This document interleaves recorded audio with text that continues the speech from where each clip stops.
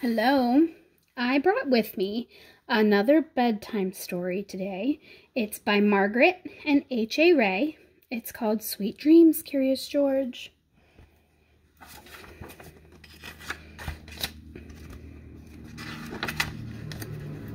This is George.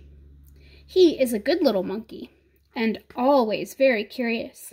Today he's curious about a library book that his friend, the man with the yellow hat, brought home. George sat down to look at the book. There was a yellow chick on the cover, pointing up to the sky. This made George even more curious. He brought it to the man with the yellow hat. "Mm, Why don't we wait until after dinner, George? said his friend.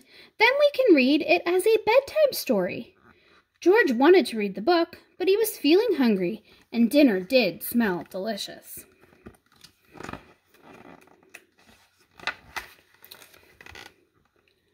After dinner, it was bath time. A nice warm bath is just what a monkey needs after a long day. George played in his with his rubber ducky and a little toy boat until it was time to get out. His friend held out a fluffy towel with a hood that looked like a chick. That made George think of his new library book. George put on his pajamas and hopped into bed. He couldn't wait to hear that story. This is the story of Chicken Little, said the man with the yellow hat. I think you're going to like this one, George. George did like it. Poor Chicken Little thought the sky was going to fall. Then lots of other animals thought it would too. Thank goodness the sky didn't actually fall. Little monkeys like happy endings. It seemed like the perfect bedtime story.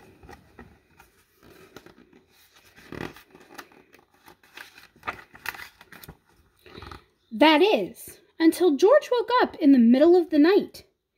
He had had a terrible dream that the sky really was falling. George was scared. His friend came to see what was the matter.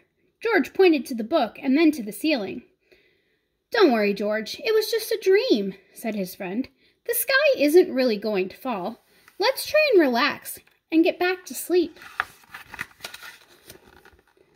First, the man brought him a cup of warm milk.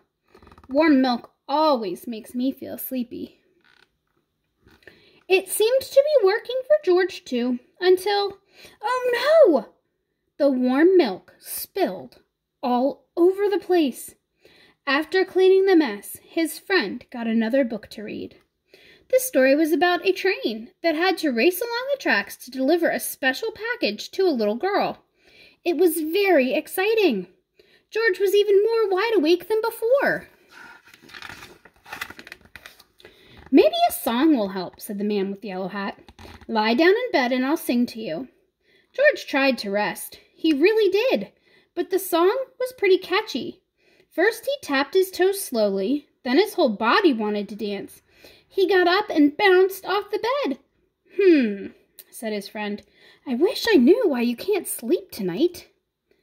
George stopped dancing. He pulled out the book Chicken Little and then pointed to the ceiling again, frowning. Are you still worried that the sky is going to fall? His friend asked. George nodded. He just couldn't get that dream out of his head. Hmm, said his friend. I have an idea. Why don't we take my telescope outside to look at the stars and make sure the sky is still way up where it should be? George liked that idea so much that he leaped right out of his bed.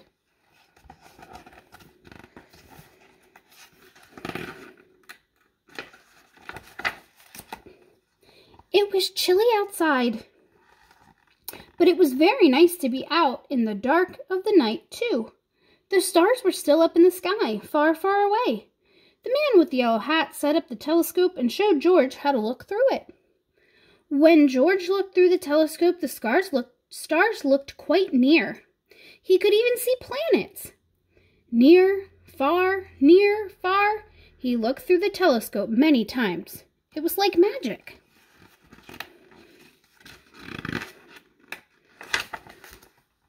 George? asked his friend. The stars are just where they should be. That sky doesn't look like it's falling, does it? George shook his head with a smile. The man with the yellow hat even had a chart with something con- called constellations on them. Pictures in the stars. George loved looking for constellations so much that he completely forgot about his bad dream. But it was so late. George yawned. I think it's time for both of us to get some sleep, George, said his friend, leading him back into the house. By the time they got back to George's room, he was very tired. His friend gave him a hug and tucked him in tightly. Good night, George, said the man with the yellow hat, as he was about to close the door. I hope you have a happy dream. George cuddled his teddy bear for a minute, then started to fret again, just a teeny bit about the sky falling. He hopped out of bed and opened the curtain so that he could see the stars in the sky, right where they should be. As the starlight streamed into the bedroom, George snuggled down deep into his blankets and fell asleep. Sweet dreams, George. And sweet dreams to all of you. That was Sweet Dreams, Curious George. I hope you enjoyed our story, and let's read another one again soon.